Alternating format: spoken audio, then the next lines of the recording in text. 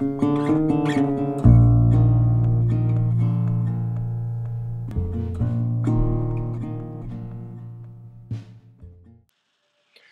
welcome back. And this is class one. What is my vision as an entrepreneur?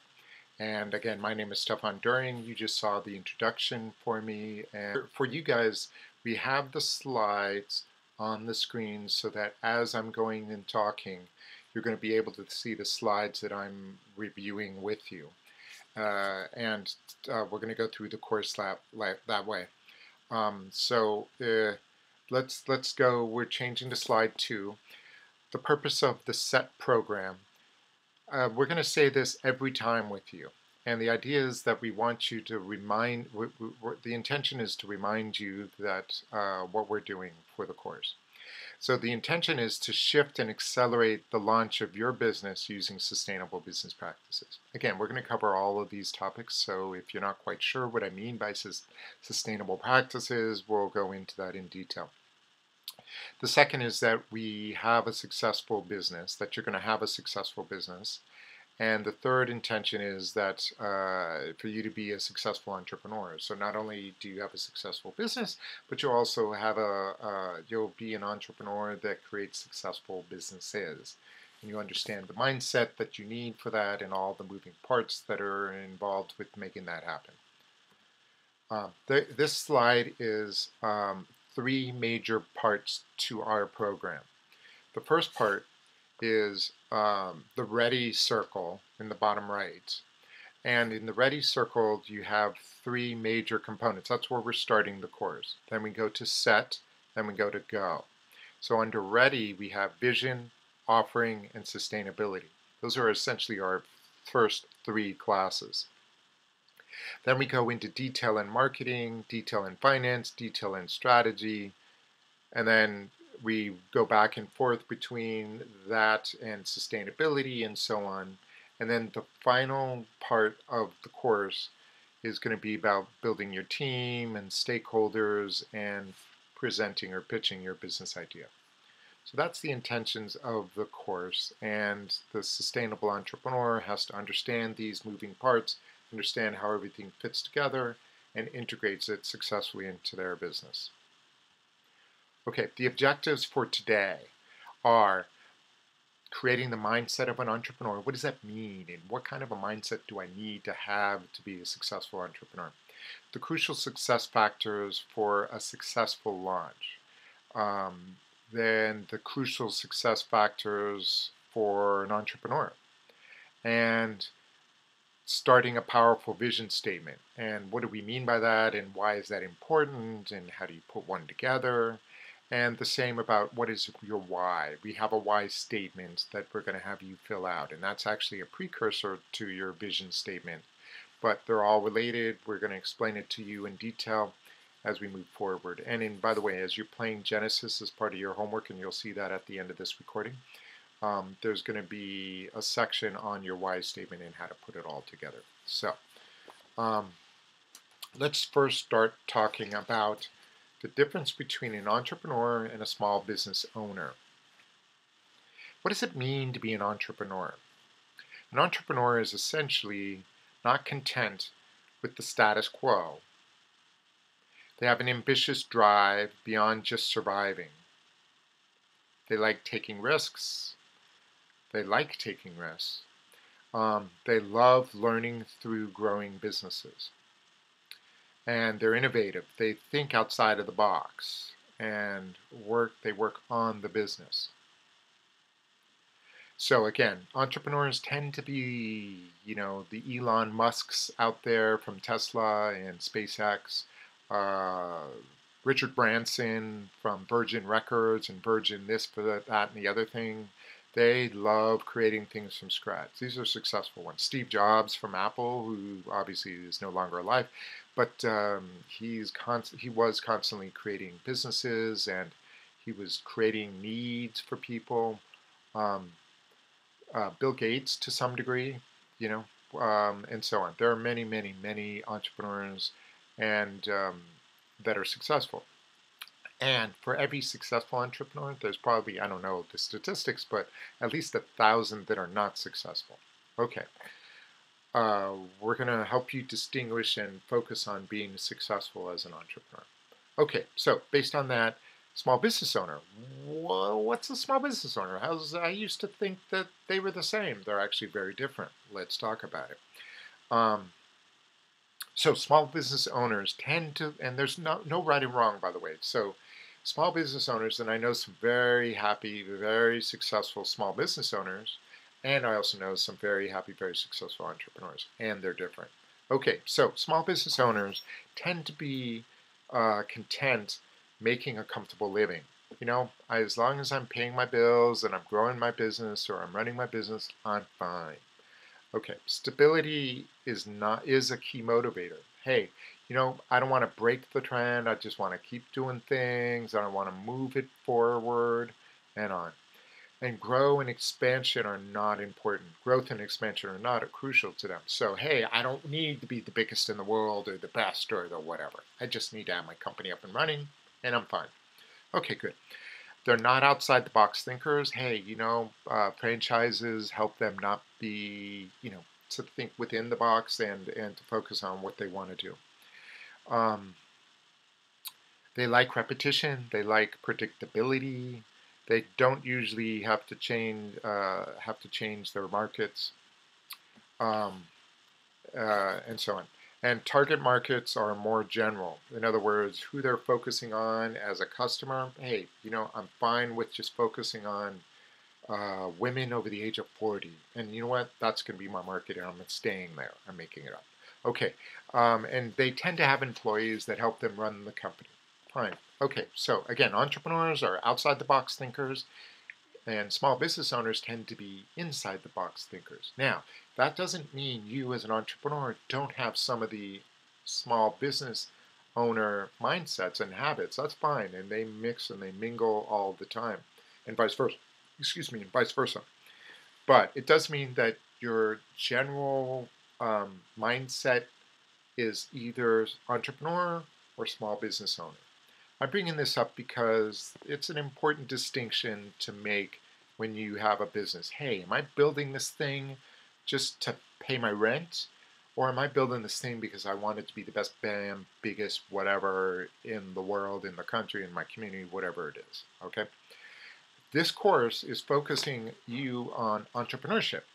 And if you uh, have labeled yourself or identify more with the small business owner, that's fine just know that the course is going to be focusing on helping you grow and expand and think outside the box and whatnot. Use as much of that as you can to build your small business for the course. Okay, so that said, um, there are different types of entrepreneurs. They're not; these are not all the types of entrepreneurs, but these are the key the, the key ones. So uh, the first one, and I'll go through these fairly quickly. Solopreneur is just like it sounds. It's an entrepreneur that runs the company by themselves. Hey, you know what? I'm going to just do this thing on my own. I don't need any outside help. Consultants uh, tend to fit that mold. Uh, mom and pop shops tend to fit that mold. That's fine. Lifestyle support entrepreneurs are those that, hey, I have a lifestyle that I want this business to help me take care of. High, high growth are companies that want to scale and grow as quickly and be the biggest and the best. Um, technology or tech companies are the same. They they use technology like our company is a bit of tech. Um, we use a fair amount of tech in our company to help um, scale their companies and social and environmental entrepreneurs tend to focus on uh, businesses and working with communities and helping make an impact or a difference in businesses. I'm sorry, in, in their communities and their stakeholders around the, in their in their uh, target market.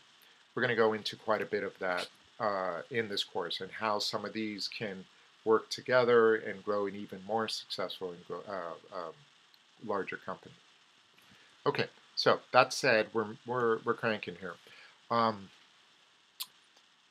so these are the the um, these are the key components that make up a successful entrepreneur.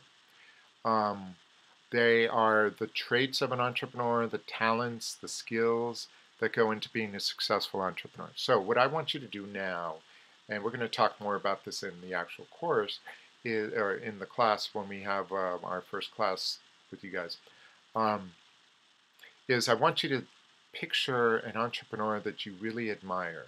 You can use one of the ones that I've mentioned in the past, uh, previously tonight uh, in this recording, uh, or one of your own. So uh, somebody you know, somebody you know of. Um, there are so many out there. And just picture one that you really admire, and then what are their traits?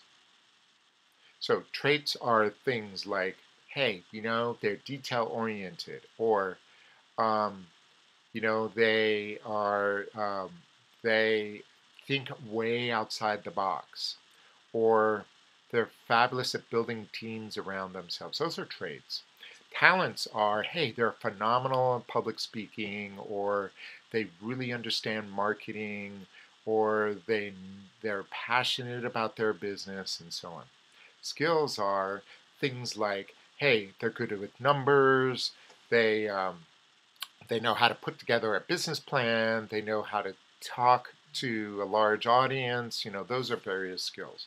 So what I want you to do is take a look at your uh, at, at that entrepreneur that you really admire and then say, hey, what kind of skills do they also, or, you know, what do they have? You know, come up with maybe one or two, maybe three entrepreneurs that you admire and say, hey, what do they have in common? Skills, traits, talents, what do they have both in common or all in common that, hey, maybe I should have some of those as well. Okay, so I'm going to have you guys start thinking about that, and then in class we're gonna we're gonna talk more about that. Okay, so moving on through the slides, um, your business idea. The key to having a successful business is um, uh, the business idea itself is um, all a precursor. Everything I just said was a precursor to what is my business idea. So an idea is the what, the whom, the pain. What do I mean by that? Okay, so what is the idea? Whom is it for? And what is it solving is essentially what that means. Okay, so who, who the what is what's my idea? Like, um, you know, I don't know, Microsoft has, um, you know what, I'm not going to use a common name. Uh, so you see this, it's a bottle, it has water. Okay, so what is it? It's a bottle. It's a portable bottle. It's something that I take with me. It's refillable. You don't throw it away. That's all the what.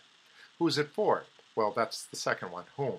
Well, that's for people that don't want to run out of water and they don't want to throw something out or they don't want to have to pay extra to have a bottle of fresh water, or whatever that means um, but they rather have it uh, be something that they can constantly bring with them. And the pain is related to the home, and that is what is the pain? I'm going to keep holding this up. So, what is the pain that the entrepreneur has? Well, I mean, I'm sorry, the target audience has. Well, the pain is well, you know, I'm what if I get stuck on a subway and I'm really thirsty and I can't get something? or the pain is I'm at the beach and um, I need to make sure I always have water with me. Or, hey, my business, I'm always talking and presenting. God forbid I, I get thirsty and I, I can't talk because I'm, you know, that kind of thing. So that all becomes part of your business idea.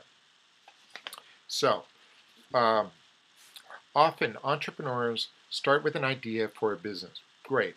Now, for this course, I would like you to think way beyond having a, a having a restaurant, having a store, shop, uh, a bar. Those are things that I do not want you guys to be coming up with. I want you to come up with something much more innovative than that. I want you to start thinking about something that's exceedingly unique, not just in your community, but something that, as far as you know, you've never seen it done before. So, restaurants are out, bars are out, Um, in your dorm, little businesses in your dorm, probably out, unless it's exceedingly unique. Um, okay, so that said, uh, often entrepreneurs start with an idea they have for a business. If you don't have one yet, that's fine. Fill it out here. Um, I mean, you're going to start working on it here, and you're going to skip uh, the next sec this section if you don't already have an idea. But just watch it and start thinking about it and saying, okay, what's my idea going to be? Okay, great. So business idea is something that you sell, to whom you sell it to, and uh, the pain that your customer has, which is what this slide says. Examples are uh, a bowling alley. We had a student a few years ago at one of our schools that had a bowling alley and a high school, uh, a, high, a, bowling alley for high school students, and uh, or an uh, acupuncture business for women is another example, or an app that helps baby boomers get a taxi. Those are examples.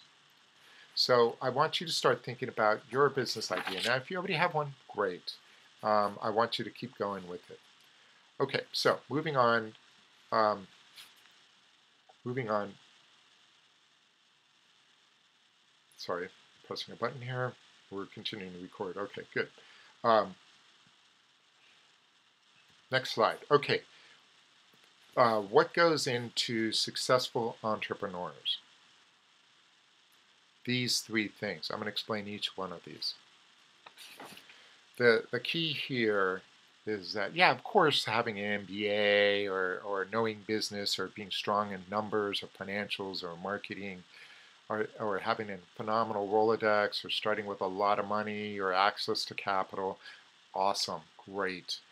You know, those are exceedingly helpful. Absolutely.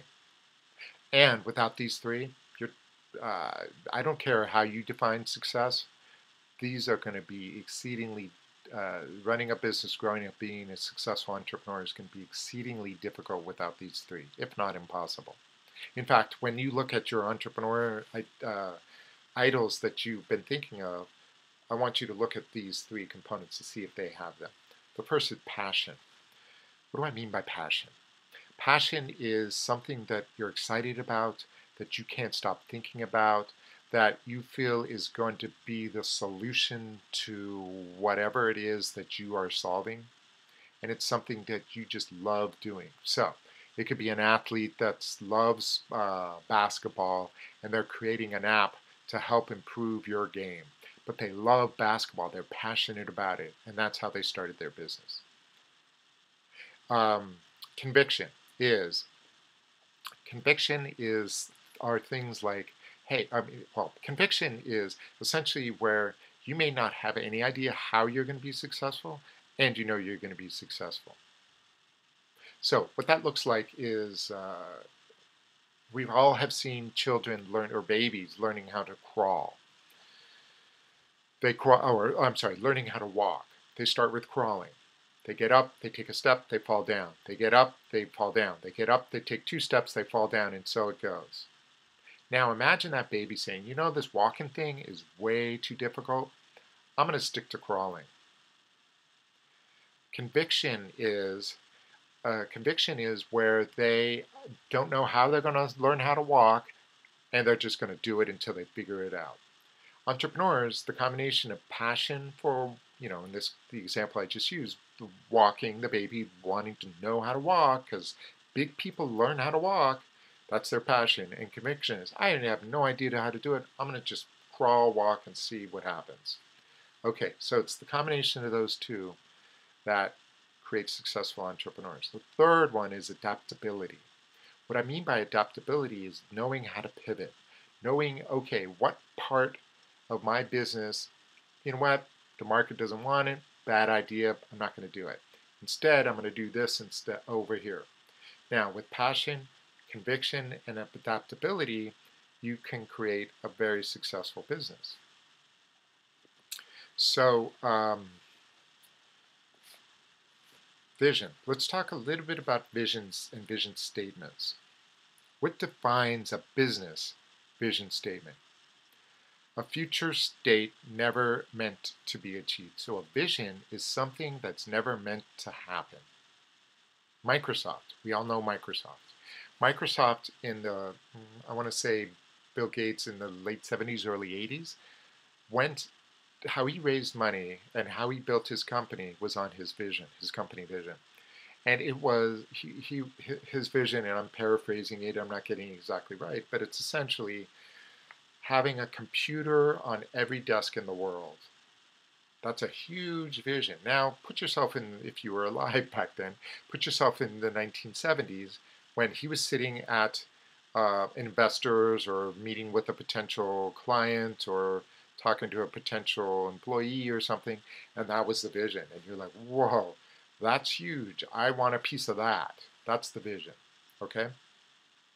So he didn't expect to make that happen. He was just focusing on it, and that was his intention. Okay, great. So that being said, he uh, now uh, fast forwarding to I don't know maybe 10 years ago, it's my guess, but a while ago, uh, um, uh, Microsoft had to change their vision because they came really close to achieving it, having a computer on every desk. So I don't know what it is today, but they started off with a computer on every desk. And that was the vision, and it helped all the people in the company focus on, okay, this is what we're building, and this is what we're going towards. And it helped them stay focused and passionate and and moving the company forward. Uh, a couple other examples. Um, acupuncturist. Her vision is healing humanity. She doesn't expect to heal humanity through her acupuncture, but that's what she's focusing on. She's building her company around healing humanity. So that when she talks to clients, when she talks to employees, when she's looking to raise money, if she needs to raise money, she says, hey, my business is all about helping to heal humanity, and that's what we're focusing on. So if you have an idea for a business that has nothing to do with healing humanity that you think my acupuncture business should take a look at, not interested. But Chinese medicine heals humanity, so I'm interested in Chinese medicine. Okay, so that helps her stay focused and move away from the distractions that other components uh, and other people might bring her as she starts to grow her business. Okay, another example is Shift Group, my company. Um, our vision is a sustainable planet transformed by entrepreneurs. We don't expect our company to heal our planet through entrepreneurship, but we do expect that that's going to be our focus so that we're going to, and you're going to see a lot of this as you're going through the course. But the intention is that we're going to train you guys to come up with solutions and ways to run a company that don't destroy our planet and communities, but actually restore them. Okay, so that said, um, sorry, my light just flickered. I'm back. Um, so what's important and how do you create one? Um, I want you to start thinking about what is my vision for my company going to look like and how do I go about putting that together for me? Okay, we're going to talk a lot about that in class when we have class. Um, I want you to not just look at this from a place of making money or getting an A in the class, but come from a place, you can't really see my hand, but come from a place that is your heart. Where's your passion for this? I keep saying that, but man, I can't tell you how many um, investor pitches I've seen and investor meetings and investors and um, uh, angel groups and uh, venture capitals, and we're going to talk a lot about what all those things mean. And I can't tell you how many times I've been to these events and investors say, not interested because the passion wasn't there. I'll explain why that's important when we get to it. And when you start looking at those model entrepreneurs or idol entrepreneurs that you have in your life, um, you're going to see that they all are passionate about what they do. Sorry about light.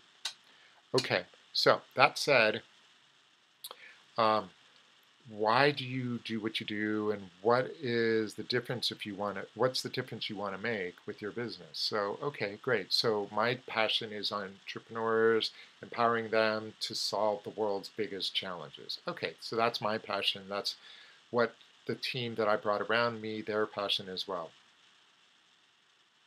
So who has a vision?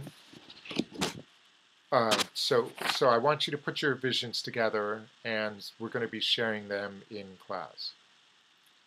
And we're going to be taking that vision to a deeper level. But just know that start thinking about it because in class we're going to go deeper into it, and we're going to get feedback. With uh, we're going to give feedback in your uh, with your colleagues and your professor.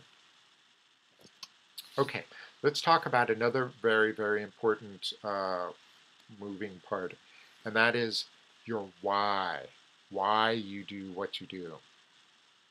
And this is different than a vision statement. A vision statement, uh, which is, all, well, you know, I'm going to take a step back. Uh, you have vision statements, and you have purpose statements, and you have mission statements. So we've all heard those before. Now, a mission statement is different than a vision statement. So again, a vision statement is designed to never be achieved, but it's something that I'm passionate about and it's what the company is going to be doing. A mission statement is steps to make the vision happen. So, a computer on every desk, well, we're going to start, you know, Microsoft's, a computer on every desk, well, we're going to start with putting together an operating system that controls the computers. Then we're going to start introducing programs and products that run on that operating system and so on. So it was all around a computer on every desk. Well, how do you make people want to have a computer on their desk? Well, you got to have things that they want to use on their computer, which is Word and Excel and blah, blah, blah, right? PowerPoint and so on. Well, so that's a mission statement. Now, a purpose statement is what you're all about and what's the purpose of the company. And that's related to the vision statement. We're not going to talk more about that. But just know that a vision statement is designed to create the direction and the future of your company. And uh, it's not necessarily something that's uh, intended to be accomplished. It's just something you're focusing on. Okay, now a why statement is different. A why statement actually happens before the vision statement. Why you do what you do. What are you most passionate about? And why in business does that matter? Who cares? And why would they care? And why that's important to build that into your company and your vision. It's the core of what you really believe about the world, about your life, about what's most dear to you and important to you. But it's greater than you. It's not you. It's not, I want to be wealthy or about me, me, me. It's about something much greater than you. So that other people, and you're going to see a video on this, not now, but uh, part of your homework in playing Genesis, you're going to see a video about this.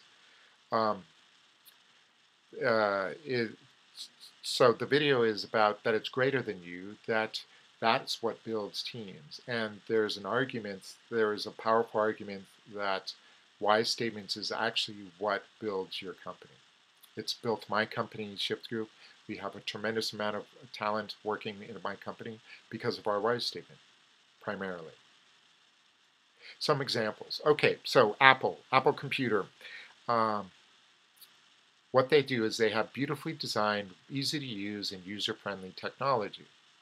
That's why they do what they do. They want to buck the trend. They want to work, uh, not work with the status quo. They want to make everything in a completely powerful, simple, and beautifully designed way.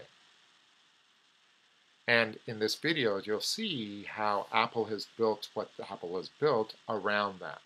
My company.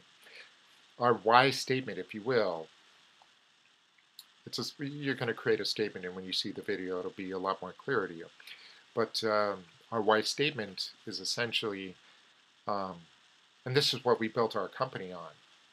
The fastest way to stop destroying our planet and communities and actually restore them is by showing people how to make money doing it. Again, the fastest way to not only stop destroying our planet and communities, but actually restore them is by showing people how to make money doing it, which is what we're doing with you guys. We're showing you how to make money running sustainable businesses. Okay, so from that we brought in the talent and the expertise and the money and the, and everything, our team and our customers because of that. Okay, so um, that's a wise statement, and that's how everything is built. Okay, so now we're going to um, review what we just covered. Um, we started off by talking about the entrepreneurial mindset. What does it take to be a successful entrepreneur? The entrepreneur types. You know, we have, you know, the solo entrepreneurs all the way to the sustainable and social and nonprofit entrepreneurs. That's the different types. And how are they different and how are they related and how you can have some of one and some of another. And you don't have to be just a technology entrepreneur or a high growth entrepreneur or a lifestyle. You can be a mixture of those. Okay. And then successful entrepreneurs you know, picturing what made them successful. And passion, conviction, and achievability is the other one. On um, so passion, conviction, and um, adaptability. I'm sorry, adaptability um, are crucial. So being passionate about what you do and convinced you're going to be successful. You may not know how you're going to be successful, but you're going to be successful. And adaptability, meaning that you pivot, you can change, you can flip it, you can do this piece instead of the whole thing, you know, and you're okay with that because, damn it, I'm going to build my company and I'm so passionate about making the overall vision happen. Okay, great. The power of a powerful vision, why that's important and where that comes from. And then your why statement, we briefly talked about the importance of a why statement and how to make that happen and everything that goes into, uh, you know, what you believe and how to attract other people to believe what you believe Again, we're I'm going over it a little bit here because we constantly are going to be revisiting it and building it into your business model as we go forward. Okay, so your assignments. Uh, you're going to draft, and after you, so you're going to play Genesis. I recommend you play Genesis now that you've watched the video. Play Genesis level one, and in that you're going to see the. Uh, I think it's a 17 minute video. It's a long video, but it's from. It's I think one of the top three or four all-time TED Talk videos. If you know TED Talk, it's I think it's TED.com. I think T-E-D.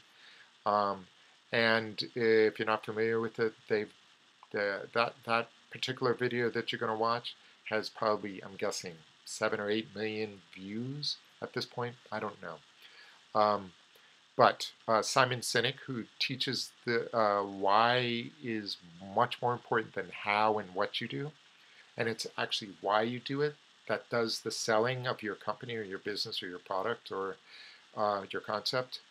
And he uses business and non-business examples. Anyhow, so it's a 17-minute video embedded in Genesis. And then there's quizzes in Genesis on the video. So pay attention to the video because we're going to ask you questions afterwards about it. Then you're going to, um, so you, uh, and part of your EM1 is going to be what is my why statement. And then part of your EM1 is, okay, what is my vision statement also? And these are slightly out of order, but the third thing is playing Genesis. GenesisTheGame.com is where you can go to play level one. Play it, I'm going to go back to the other slide. Uh, play it up to level one, um, Red Rocks. And Red Rocks is at the very last part of the, um, of the game. So you can play, when you say entering Red Rocks, you can just stop at that point. Because we're going to be doing that in class. So, uh, or our equivalent of it in class. So uh, play up to level one's Red Rocks, and that way you'll watch the video, you'll learn about entrepreneurship and the different types of entrepreneurs and so on, and small business owners and so on, and why that's important. And it'll help you reinforce some of the things you've been learning here. Um, and then I will see you, or, or the professor will see you in class. And we're very much looking forward to hearing what your idea is and how we're going to actually go from idea to, in a very short period of time, you're going to be pitching it to the world. Okay, I will, uh, the professor and, and or I will see you in class very soon.